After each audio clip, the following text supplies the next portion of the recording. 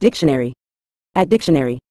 In a general sense, putrefaction refers to the process of decay or decomposition of organic matter, characterized by the breakdown of proteins and other complex molecules into simpler compounds through the action of microorganisms such as bacteria and fungi.